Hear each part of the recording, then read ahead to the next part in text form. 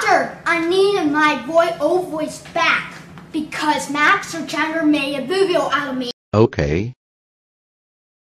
Hello. I'm Simon.